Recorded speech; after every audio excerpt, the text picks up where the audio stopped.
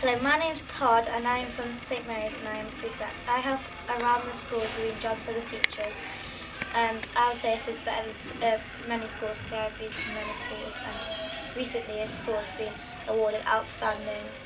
I like about a school is you have your own laptop in each class and you can uh, bring uh, your own sandwiches in and dinners are always very nice. Teachers are also very friendly and If you don't finish something, they always let you do it in, um, before school or something like that, or come in early so you could finish your work.